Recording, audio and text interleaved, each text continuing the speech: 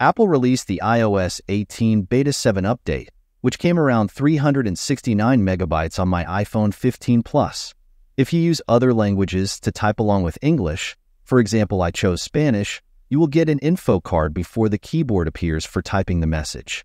Similar info cards also appear before many applications such as voice memos, stocks, reminders, health, freeform, books, passwords, journal, fitness, and translate. In the phone application, the phone icon next to names in the Recents menu now only appears if you search using the tab above, instead of being shown by default. Additionally, the disappeared Control Center icons issue in previous betas has been fixed upon restarting the iPhone.